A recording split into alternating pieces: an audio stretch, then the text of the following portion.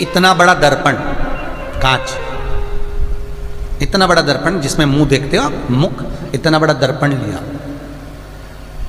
अच्छा पहले के लोग जानते नहीं है, पहले जो घरों में आजकल तो फ़ैशन की बंदरवाल होती है, दरवाजे पे जो बंदरवाल लोग लगाते हैं, कहीं मोती की लगा रहे, कहीं काय की लगा रहे, परंतु तो पहले जो बंदरवाल होती थी, उस बंदरवाल में अगर कहीं कई कई शहरों में, जैसे काशी साइड में तो आज भी जो बंदरवाल मिलती है उत्तर प्रदेश में और चलो तो गुजरात में तो उसमें इतने बड़े बड़े कांच लगे रहते हैं, दर्पण। उसका क्या महत्व है? उसकी मूलता क्या है? शिव महापुराण की कथा कहती है, दर्पण इतना बड़ा ले लो। बंदर वाला अगर दर्पण वाली नहीं तो इतना बड़ा दर्पण लो, हनुमान जी के मंदिर में जाकर, क्योंकि हनुमान शंकर का ही अवतार है। हनुमान जी के मंदिर में जाकर, हनुमान जी के उल्टे पाँव का थोड़ा सा सिंदूर चरण का थोड़ा सा सिंदूर एक कागज़ में लेकर आ जाइए। और हनुमान जी के छोटे भाई, हनुमान जी छह भाई हैं, उसमें गतिमान, हनुमान जी के छोटे भाई गतिमान का नाम लो। और गतिमान का नाम लेकर उस दर्पण पर सिंदूर से त्रिशूल बना दो। सिंदूर से त्रिशूल बनाकर उस दर्पण को घर के बाहर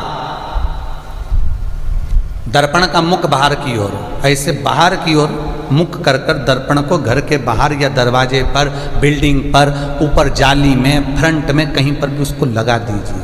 महाराज, केवल शंकर का स्मरण कर कर, गतिमान का नाम लेकर, हनुमान के उल्टे पाँव का सिंदूर का त्रिशूल बनाकर जो दर्पण को लगा देता है, आपको एक महीने के अंदर अंतर मालूम पड़ जाएगा कि पिछले जो महीने निकले हैं, उस महीने का अंदाज़ा लगाना कि घर में लोग कितने बीमार पड़ते थे और इस दर्पण को लगाने के बाद बीमारी कम हुई कि नहीं।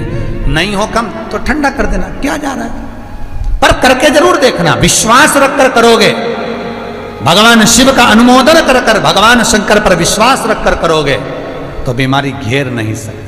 अकाल मृत्यु हो मरे, जो काम करे चंडाल का, काल उसका क्या बिगाड़े? जो भक्त हो महा काल का। शंकर की आराधना करने वाला, शिव का स्मरण करने वाला, शिव का निवेदन करने वाला, शिव अर्चना में डूबने वाला, शिव का अनुमोदन करने वाला, कभी दुखी नहीं हो सकता।